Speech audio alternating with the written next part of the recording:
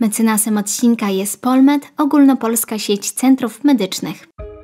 OSPA Party, Odra Party to spotkania, które organizowane są po to, aby dzieci zdrowe spotkały się z chorymi w celu zarażenia się chorobą i w wyniku przechorowania nabyły na nią odporność.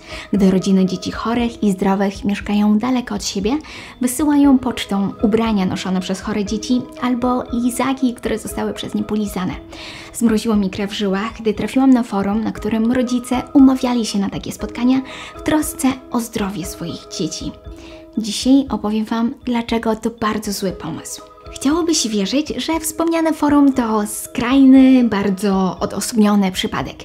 Takie umawianie się na chorobowe party jest efektem sceptycznego podejścia wobec szczepień i niestety zjawisko to rośnie w siłę. Z roku na rok coraz więcej osób uchyla się od obowiązkowych szczepień. W Polsce w 2010 roku było około 4000 takich przypadków. W 2019 mieliśmy już prawie 50 tysięcy zarejestrowanych odmów. Na skutek takiego postępowania choroby, które już prawie wyeliminowaliśmy, wracają do nas. Jedną z nich jest odra.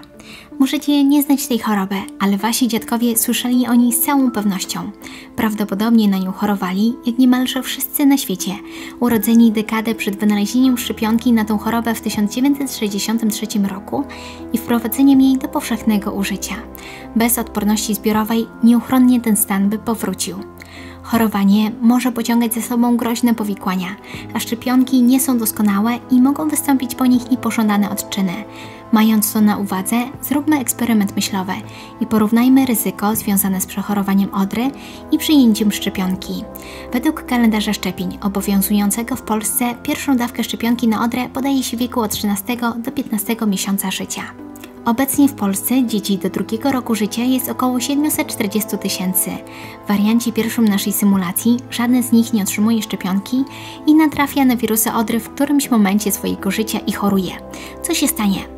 Prawie wszystkie osoby, mniej więcej 725 tysięcy, dostałyby wysokiej gorączki i wysypki. Biegunkę miałoby mniej więcej 59 tysięcy, zapalenie ucha środkowego 41 tysięcy, zapalenie płuc 35,5 tysiąca osób, drgawek doświadczyłoby mniej więcej 5 tysięcy chorych.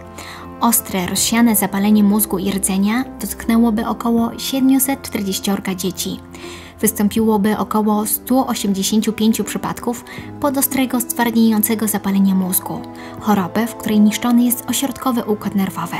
U większości osób, u których się pojawi, doprowadzi do zgonu.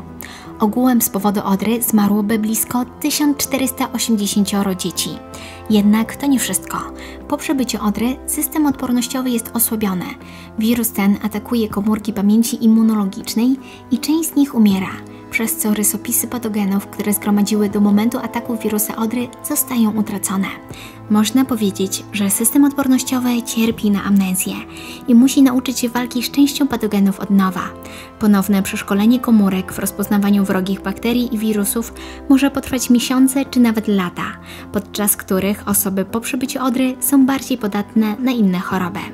Poza tym w Polsce wykorzystuje się nie pojedynczą szczepionkę przeciwko odrze, a szczepionkę MMR, która zawiera szczepy trzech wirusów odry, świnki i różyczki.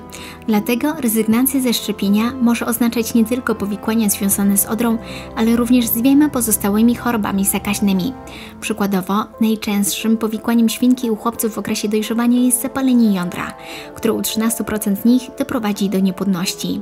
W przypadku różyczki jednym z najpoważniejszych powikłań jest zarażenie płodu przez mamę wirusem różyczki, co może doprowadzić do wykształcenia u niego wad serca czy upośledzenia umysłowego. Jednak dla uproszczenia symulacji tylko zaznaczam ten fakt, nie ujmując tego w naszych rozważaniach. Spójrzmy teraz na drugi wariant symulacji. Co by się stało, gdyby wszyscy zdecydowali się szczepić swoje dzieci i jakie wystąpiłyby tu niepożądane odczyny poszczepienne, czyli w skrócie NOPE? Warto tu zaznaczyć, że NOP to objaw, który nie musi być powiązany w sposób przyczynowo-skutkowy ze szczepieniem, a jedynie czasowo. W Polsce we wszystkich szczepionkach oprócz jednej objaw musi wystąpić w ciągu 4 tygodni od momentu jej podania. I już Wam tłumaczę, dlaczego, gdy jedno zdarzenie następuje po drugim, nawet jeżeli byłoby parę minut po, nie oznacza, że zaszedł między nimi związek przyczynowy.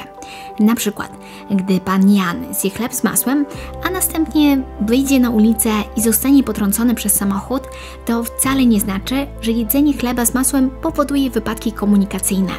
Gdy coś robimy na dużej skali, a tak jest podawaniem szczepionek i jedzeniem chleba z masłem, po prostu pewne rzeczy zdarzają się po nich całkiem przypadkowo. Dlatego stwierdzenie związku przyczynowo-skutkowego nie możemy opierać tylko i wyłącznie na tym, że jedno zdarzenie wystąpiło po drugim, a muszą być również inne dowody, które na to wskazują. Niepożądanymi odczynami poszczepiennymi, które pojawiłyby się po podaniu szczepionki MMR są Gorączka, trwająca od 1 do 2 dni, wystąpiłaby u ponad 37 tysięcy. Wysypka, trwająca 2 dni, pojawiłaby się u około 37 tysięcy. Drgawek doświadczyłoby około 237 dzieci. Jedna osoba doznałaby silnej alergicznej reakcji, czyli anafilaksji. Zapalenie mózgu, które ustąpiłoby i nie pozostawiłoby następstw, wystąpiłoby u jednego dziecka.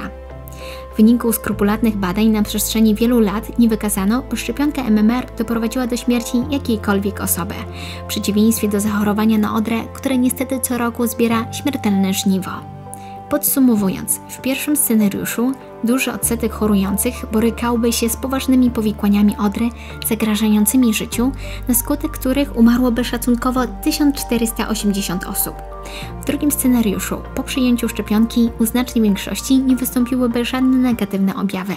Niewielki odsetek miałby łagodne symptomy, a cięższe odczyny poszczepienne dotknęłyby jedynie 0,0003% dzieci.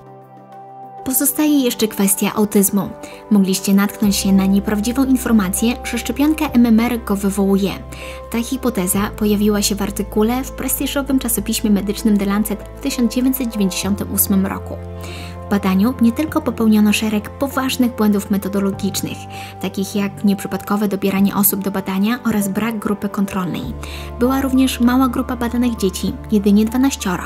Wyniki badań okazały się też sfałszowane. Jej główny autor, Andrew Wakefield, za publikację otrzymał ponad 435 tysięcy funtów od prawników, którzy działali w imieniu rodziców domagających się odszkodowania za rzekome szkody wywołane przez szczepionkę MMR. Po wysunięciu tej wstrząsającej hipotezy o związku między szczepionką a autyzmem, naukowcy z całego świata podjęli się jej weryfikacji. Między innymi prześledzili historię medyczną ponad pół miliona duńskich dzieci urodzonych w latach 1991-1998. Wyniki nie pozostawiały wątpliwości. Nie było zwiększonego ryzyka wystąpienia zaburzeń ze spektrum autyzmu wśród zaszczepionych dzieci w porównaniu do tych niezaszczepionych. Inaczej mówiąc, badanie wykazało, że szczepionka MMR nie powoduje autyzmu. Ten związek wykluczyły również inne badania. Wakefield za nieetyczne postępowanie otrzymał dożywotni zakaz wykonywania zawodu lekarza w Wielkiej Brytanii, a publikacja została wycofana. Niestety szkody zostały wyrządzone i ziarnko niepewności, że szczepionki stanowią zagrożenie, zostało zasiane w umysłach ludzi. Mimo, że szczepienie dla niektórych może kojarzyć się z czymś groźnym i niebezpiecznym, w rzeczywistości to jego brak stwarza o wiele większe zagrożenie.